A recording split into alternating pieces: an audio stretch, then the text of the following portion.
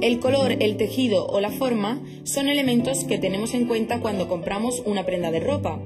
Pero además, los materiales con los que ha sido confeccionada y la forma de lavado son aspectos que a menudo comprobamos en la etiqueta del producto. En el etiquetado de textiles debe de aparecer en primer lugar pues el nombre, la razón social o la denominación del fabricante, comerciante o importador del, del producto textil. En el tema de prendas de confección o de punto, pues tiene que aparecer, el etiquetado debe de ser resistente y además debe de estar cosido y pegado a, la prenda en sí. La información sobre las condiciones de limpieza del producto no es obligatoria en su etiquetado.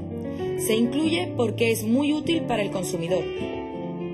En el tema de lavado, los símbolos que representan el etiquetado, pues lo que te hacen es indicar la temperatura máxima a la que puedes lavar la prenda, si puede ser lavado a máquina o tiene que ser lavado a mano. En el caso de la lejía, el pictograma es un poco eh, especial, ¿no? Porque es un triángulo con las letras CL, si se puede utilizar lejía, y si no se puede utilizar es el símbolo del triángulo, pero tachado.